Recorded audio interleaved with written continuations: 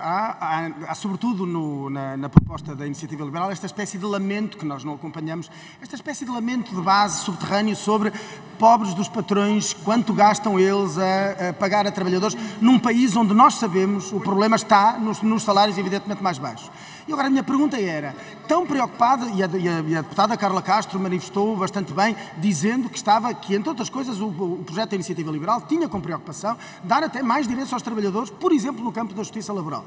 Muito bem, então uma pergunta: porquê é que não querem escrever no recibo de vencimento as mais-valias, os lucros obtidos pelos empregadores com, com, o, com o trabalho de cada um, eh, de cada um dos trabalhadores? Porquê é que não inclui, não, porquê é que não inclui uma, se quiser, uma rácio da distribuição de dividendos, por exemplo? Muito obrigado.